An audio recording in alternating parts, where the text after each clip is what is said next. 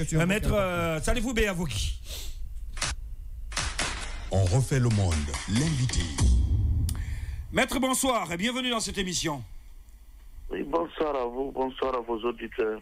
Oui, allez-y. Alors, vous mettre la première question, euh, je, je parle de votre constat personnel.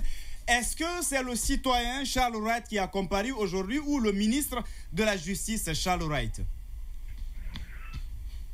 Bon, il faut nuancer. Nous, les faits que nous avons poursuivis, que nos clients poursuivent euh, contre euh, M. Charles Wright, sont des faits qui ont été commis euh, hors de ses fonctions de magistrat. Donc pour nous, c'est M. Charles en tant que tel qui comparaît. Qui devait comparaître. C'est- Qui devait comparaître. C'est le citoyen. Voilà. Qui devait comparaître. Parce qu'on l'a vu, hein, gardé dans la salle. On l'a vu dans la salle avec la garde et les services de communication du ministère. La question de, ce- de- Voilà. de mon, mon confrère, c'était de savoir est-ce que vous qui étiez dans la salle, est-ce que vous aviez l'impression d'avoir en face euh, un ministre Ou un d'avoir en citoyen. face ou un citoyen? Est-ce que vos moyens sont égaux? Bon, euh, sincèrement, euh, il faut être honnête. J'ai j'ai apprécié euh, son attitude républicaine parce qu'il est venu euh, seul, tranquillement. Il a pris place dans la salle. Il est resté près d'une quarantaine de minutes à attendre le tribunal, comme toutes les parties, Ah bon? Dans le calme et dans la sérénité. Ça rien. Donc, au-delà de tout, je pense qu'on peut retenir cette bonne image. Vous savez, nous, nous nous battons ici, dans ce pays, pour la consécration de l'état de droit, Hmm. la primauté de l'état de droit, le respect de la justice, le respect des lois dans notre pays. Donc, nous n'avons pas eu l'impression d'avoir en face euh, un ministre, mais un citoyen, je pense que lui-même, selon mon constat, selon le constat de mes clients, et comme ça il s'est comporté. Nous n'avons eu aucune influence. Mais, Honnêtement, faut- maître, maître. Béa, ce n'est pas votre première affaire. hein. Vous savez que la pratique, euh, en tout cas la tradition démocratique, voudrait que dans de tels cas, ce n'est pas une loi qui le consacre, mais pour la, bonne, pour la bonne tradition, il y en a qui parfois demandent au président de les décharger de leurs fonctions. hein. Le ministre Charlotte pouvait demander au président de le décharger de ses fonctions pour qu'il vienne en tant que citoyen. Mm. Et après cette affaire, il pourrait reprendre ses fonctions. Vous ne pensez pas que cela aussi aurait pu être possible? Bon, vous savez, euh, chacun est libre de- d'apprécier comme il veut. Moi, mes clients ont souffert le martyr. Ils ont souffert dans leur chair, dans leur honneur, par une panoplie d'infractions qui le reprochent euh, à M. Alphonse Charbret. Donc, ils sont venus devant le juge pour que justice soit rendue. Maintenant, euh, à savoir qu'il démissionne ou qu'il continue, bon, c'est- c'est pas trop euh, l'intérêt recherché de ce procès. L'objectif de nos clients, c'est d'être rétablis dans leurs droits pour que plus jamais ça. D'accord. Mais, Pour que plus jamais ça, oui, Alpha. vous plaît, Maître Béage, nous voudrions savoir où en est-on pour les exceptions et après, les, en faisant un résumé sur certaines des exceptions, où en est-on actuellement? Bon, j'ai- j'ai- j'ai du mal à vous. À- Je, à dis, je suivre, parlais des exceptions qui ont été soulevées Elles durant sont le procès. de deux Où, en- ordres, hein. où en est-on? Où en est-on? Et après les exceptions, est-ce qu'on est allé au fond et où en est-on après pour les questions de fond? Vous on, savez, niveau, Ah, s'il oui. vous plaît. Si ces exceptions et l'irrécevabilité et les Voilà. privilèges, enfin les incidents là, avant le fond n'étaient pas soulevés, euh, ça m'aurait surpris. Euh, C'est rare, je dirais même rarissime, que dans un procès pénal ou dans un procès d'une telle envergure, que la défense n'excite pas d'abord des exceptions ou des, des, euh, des privilèges, des juridictions dans le cas d'espèces. Voilà, c'est le contraire qui m'aurait euh, qui m- qui m'aurait vraiment étonné. Bien, maintenant, les points qui ont été soulevés, nous avons répondu à ces points à notre, à notre avis. Bon, euh, le premier point, euh, nos, nos éminents confrères, dans leur démarche en faveur de leurs clients, ont estimé que euh, il fallait une autorisation pour poursuivre du Conseil supérieur de la magistrature. Mais je pense que c'est oublié parce que dans un passé, passé récent, un magistrat avait écopé d'une injonction de poursuite, est-ce que en ce moment, on s'était préoccupé de, l'avis du Conseil supérieur de la magistrature. Je pense qu'il a, il a même fallu la mobilisation de tous les magistrats pour faire échec à cela. Hmm. Bon, donc là, euh, nous pensons que mes clients pensent qu'ils n'avaient pas besoin de. Cet argument est politique, il n'est pas juridique. Parce que eux, c'est pas un magistrat qu'ils poursuivent. Ensuite, euh, il a été question de la haute cour de justice. Cela m'a semblé vraiment euh, euh, trop lointain parce que de, mon souvenir, euh, la, cour, la haute cour de justice, si elle a existé, moi je n'en ai pas connaissance. Et même au temps de, la Cour constitutionnelle, un arrêt fulgurant, un arrêt, un arrêt de taille, avait imparti un délai au pouvoir public d'instituer ou d'installer la haute cour de justice euh, comme toutes les autres institutions, mais cela n'avait jamais été fait. Donc, à mon avis, je n'ai jamais appris qu'un ministre a été mis en accusation. Et, si tel est le cas d'ailleurs, je crois qu'il n'y avait pas de raison de créer la CRIEF. Parce que tous les ministres qui défilent aujourd'hui, mm. les faits qu'on leur reproche sont intimement liés à leur fonction pour la plupart. Alors, si la, cour de, la haute cour de, justice existait, je pense que c'est devant cette cour-là euh, qu'il serait justiciable. Donc, nous avons conclu au rejet de, de cette de cet argument comme étant inopérant. Bon, ensuite, euh, on nous a parlé de, sa qualité de magistrat, et d'accord. C'est comme euh, quelqu'un qui a un compte bancaire. Vous venez à la banque, vous laissez votre carte d'identité derrière, et, vous voulez avoir euh, satisfaction. Même si vous êtes connu et reconnu, je pense que votre carte d'identité, elle est nécessaire pour que vous soyez satisfait c'est ça aussi la qualité. Celui qui comparait est un magistrat de commune renommée.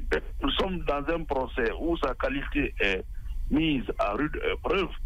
Il ne lui coûtait rien de venir avec son brevet de magistrat et de le présenter. Et puis, d'accord, si vous permettez, Guetta, euh, Baila va poser sa question. Allez-y, Baila. Oui, Maître Béa, euh, ce qui ressort, au fait, effectivement, de vos réponses et aussi euh, de vos moyens que vous avez présentés. C'est juste pourquoi, justement, lorsque euh, les avocats de M. Charles White évoquent euh, ses privilèges, évoquent la question de la Cour, de la Haute Cour de justice, avec des textes à l'appui du Code de procédure pénale, la loi sur la Haute Cour de justice, mais vous, dans vos réponses, vous vous, vous, vous appuyez par exemple sur l'injonction de poursuite que Charles White avait fait, mais vous ne vous appuyez pas sur euh, euh, des dispositions aussi euh, de la loi Il faut éviter la répétition. Si ce que nous avons dit est encadré par les dispositions de la loi, notamment les articles 751 à 757 du Code de procédure pénale. Ce sont des dispositions que nous avons lues que nos clients ont lu avant d'engager la procédure.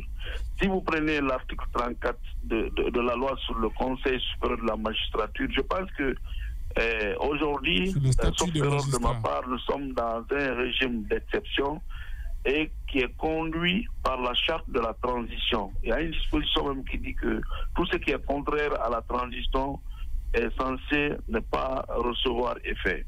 Donc, nous avons introduit notre action sur la base des dispositions du code pénal et du code de procédure pénale. je crois qu'on n'a pas besoin toujours de revenir sur ça. Non, votre action, oui, mais je parle de la réponse aux, exceptions soulevées. évidemment, les réponses là sont encadrées par les dispositions que je viens de vous citer. Voilà. Donc, qu'est-ce qui va se passer finalement? Oui, oui, voilà, finalement, la, la, suite, c'est quoi? où la Cour se déclarait, le tribunal se déclarait incompétent. Incompétent, oui. Le tribunal. Vous savez, euh, d'abord, le, procès a dérapé depuis hier. Il faut avoir le courage de le dire. Euh, nous sommes arrivés hier matin à l'audience. Pour nous, euh, on devait donner la possibilité à chacune des parties de discuter non seulement de la caution, mais ensuite de la date de renvoi du procès. Parce que nous ne sommes ni dans un procès expéditif, ni dans un procès punitif. Il n'y a pas de détention, rien. Mais contre toute attente, hier le dossier a été appelé. Notre client a été grondé dans la salle d'abord pour avoir pris une gorgée et avalé un produit. Il est malade. Et cela nous a vraiment déstabilisés, mais on a continué à résister. Et le président a vidé sa décision, sans donner la parole à qui que ce soit, et a envoyé le dossier pour ce matin. Alors que ce matin, on avait déjà d'autres engagements judiciaires. On avait des procédures qu'on devait suivre devant d'autres juridictions. On était obligé de se déconnecter. Ça nous a mis en déroute. Bien. Ce matin, nous sommes arrivés, la caution a été payée, une récusation a été déposée en bonne et due forme. Ce n'était pas devant ce tribunal qu'il fallait discuter de cette récusation, mais ailleurs mmh. plutôt. Mais nous avons demandé un report pour qu'on se prépare. Ce report également nous a été refusé. Maintenant, nous n'avions pas d'autre choix que de discuter sur le champ des moyens de bord. Si on avait eu le temps de reporter le procès, on se serait préparé davantage.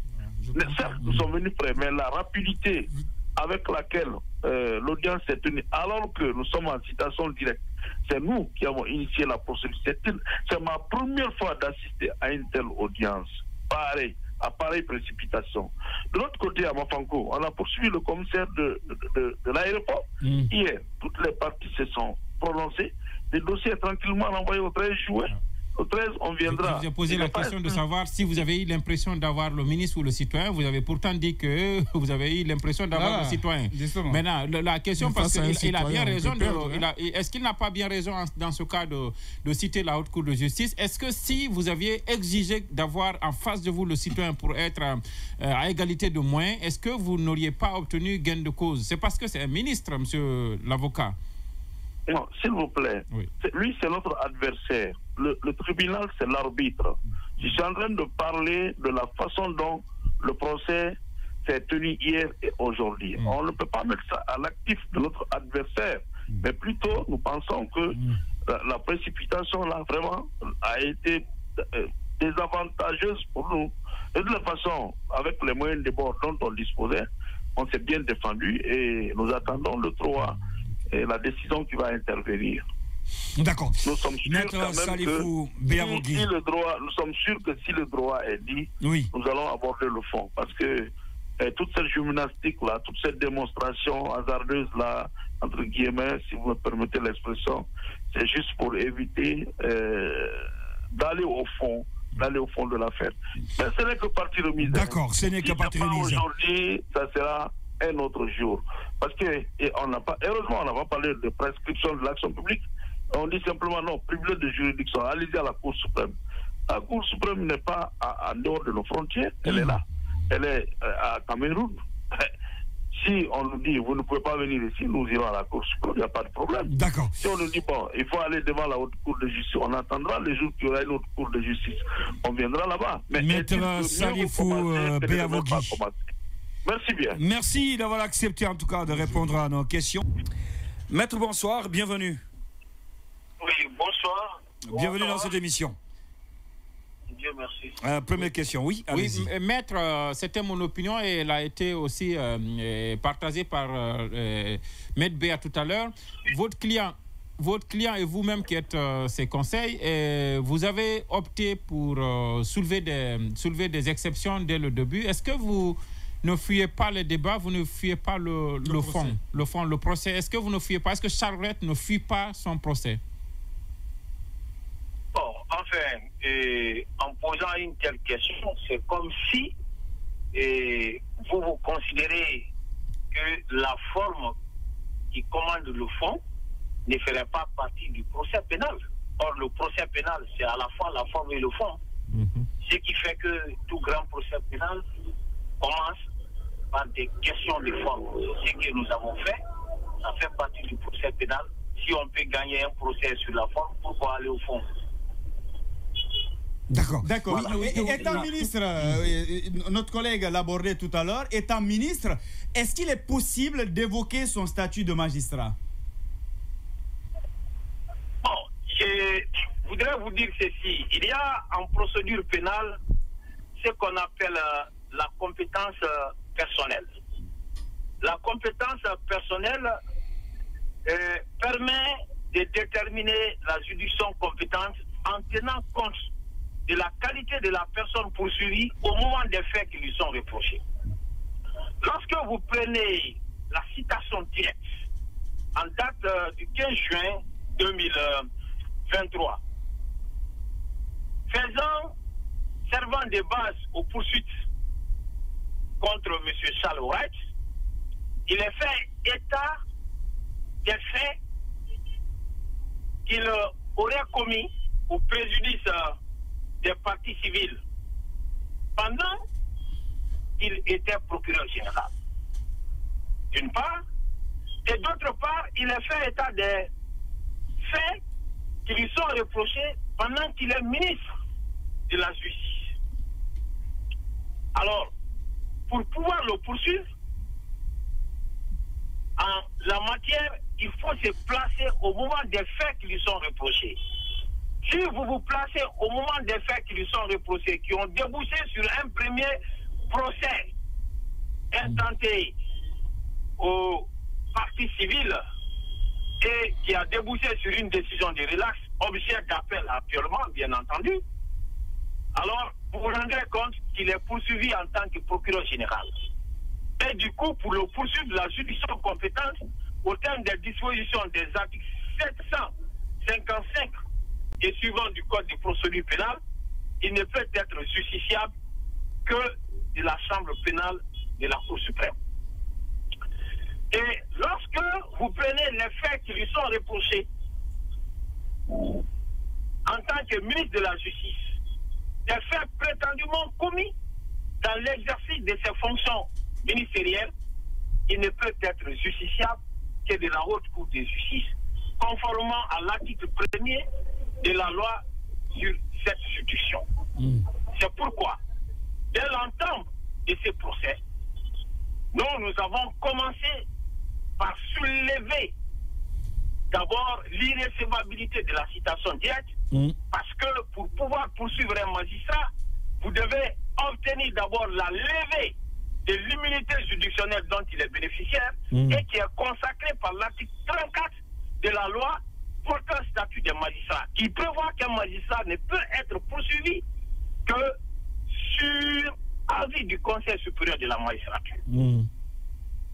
Monsieur Oumar Silla et quatre autres n'ont obtenu aucun avis du Conseil supérieur de la magistrature pour pouvoir mettre en mouvement l'action publique contre M. Chalouette par voie de cette citation directe. Donc, nous avons soulevé l'irrécevabilité de leur citation, c'est le premier moyen.